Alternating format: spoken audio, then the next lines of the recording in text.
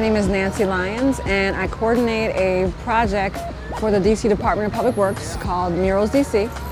And it's a graffiti prevention program to help fight the, um, the cycle of tagging on buildings. We devote a, a significant amount of money to cleaning graffiti.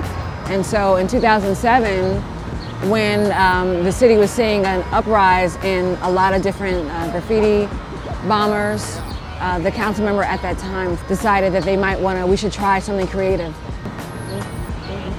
We find that in most cases, when we're able to put a mural on someone's wall, we sit down with the owner, talk about design concepts, we go to the community, get them invested into the art design, work with a, an artist, and put up an original work of art, there seems to be some level of respect amongst the graffiti artists. So the first thing that I do as a coordinator is I try to find the walls. While I'm trying to find wall donations, the Commission on Arts is issuing an, a call for artists, and artists are applying for the program. Half of our projects typically are working with artists that are local, but we've also worked with artists who've lived all over the world.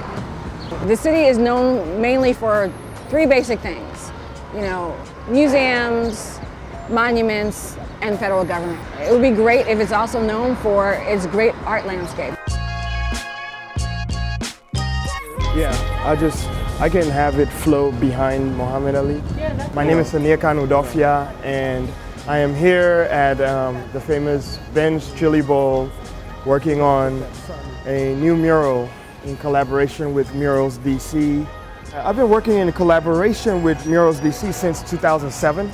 Murals and street art is very good for DC, especially now because some of the murals, they kind of tell you about the people. I think it's very important that a lot of programs support artists. I think eh, as long as there's something like Murals DC that is paving the way, hopefully other organizations will then come in and start working with artists.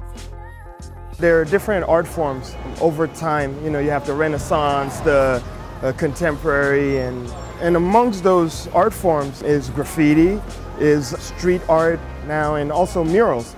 So with murals, they're commissioned mostly, you know, and it's like more orchestrated. Sometimes it tells a story or a history.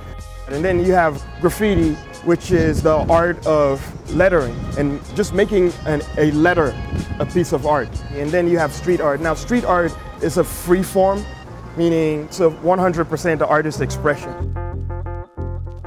From what I understand about graffiti, you have a tag, a throw up, and then you have a piece. So one can go over another, but uh, in terms of the hierarchy, the sometimes the reason why people don't go over murals is because like going over a well done beautiful mural it goes outside of graffiti at that point it's just that you hate beautiful renderings another reason why some street art or murals are not tagged or gone over is also the respect that the graffiti world has for the artists themselves and especially their contribution to the city or the environment they're in.